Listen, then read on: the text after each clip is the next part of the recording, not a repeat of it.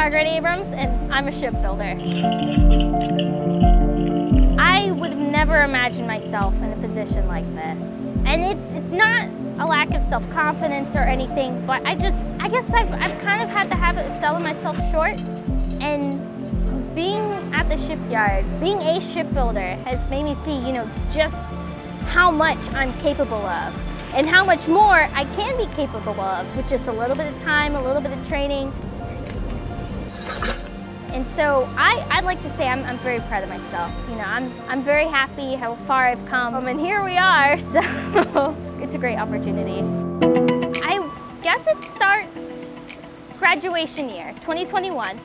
Um, I'm still fresh out of the bucket, but I ended the school year and I had no idea what I wanted to do with my life. You know, you think like you'd have like 12 years of school and you'd have some sort of direction, but I, I wasn't exactly sure. But I knew that I wanted to work with my hands and I wanted to be in the thick of it, whatever it was. So I attended college first. I was doing mechanical engineering and I just, I wasn't really feeling it and maybe I'm a little bit impatient, but I just, I kind of wanted to put myself out there. And so I'm back home and I'm looking through jobs and I come across one from Newport News Shipbuilding and they were offering to send people to a program called ATDM or Accelerated Training in Defense Manufacturing and it's based in Danville, Virginia. And they were offering to send people there for about 16 weeks and then barring completion of that trade school, uh, you get a job here.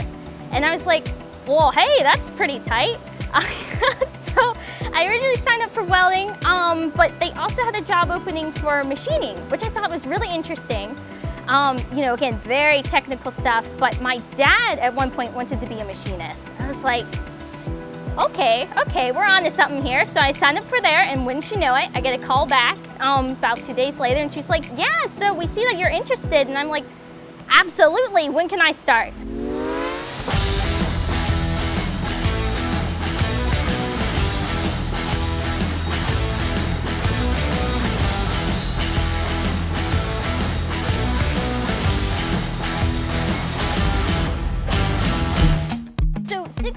Is wild, but for many reasons, because A, that's an awful long lot of time, but also it's not very much time at all.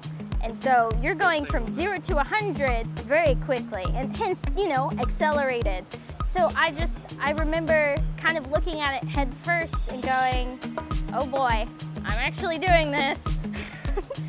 So, but you, you just gotta, you know, one foot in front of the other, you just gotta push forward. You know, I'm, I'm confident in my skills. I'm confident in my ability to learn skills and to do a good job. So I knew that in the end, I'd, I'd make it through. And this, this is just a wonderful partnership. You know, to, to have a company willing to support people, you know, to go through a program, to sponsor them, um, send them off to a place where you're your room is paid for, you have transportation to the school, um, and you know, they, they keep up with you, you know, during the whole process, you know, watch your progress and whatnot. And you know, it's very encouraging, I think, you know, to know that at the end of it all, you have a job set up for you. It's real nice walking up to my workspace and knowing that you know, that's that's my machine. That's the machine I work on. This is this is where the magic happens. It feels amazing. You know, I wanted to be a part of something that's bigger than myself, and this is this is pretty much as big as it gets. So it's been really exciting, and um, I'm very grateful to be here uh, to be able to uh, promote this company and kind of bring outreach to other people who, you know, maybe are looking for um, something new or something greater than themselves it makes me really happy that I was put in a position, you know, where I could succeed and I am succeeding in my career.